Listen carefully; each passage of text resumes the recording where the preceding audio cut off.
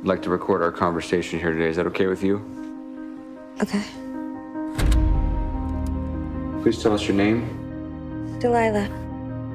When we found you, you were unconscious. Do you remember what happened? Um, I don't know. Murder suicide. Case closed. What do you think? It's some gangbangers took a little beach day up in Malibu? Stop it! I'll get! You think these parents would still send their little Dick and Janes to USC if they knew it was in the middle of a war zone? All these kids, they knew each other. There's got to be more to this. than- Can you think of anyone at all that might want to hurt you? No. Sure. What's going on here? Just doing some private detective work. I'd like to be a detective one day. Oh, we need to talk. I kind of feel like you're not being honest with me. Your sister? What do you want to know? What I want is for you to tell me what the hell happened at that house. Either you know who did it or you did it.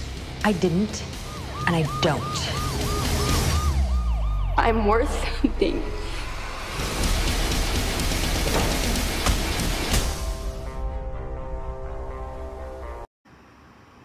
Bullying is a brain disease. Bullying is a mental illness, mental disease. Defective short mental processor. Bullying comes in a different forms, have serious effects. Bullying is genetic defect.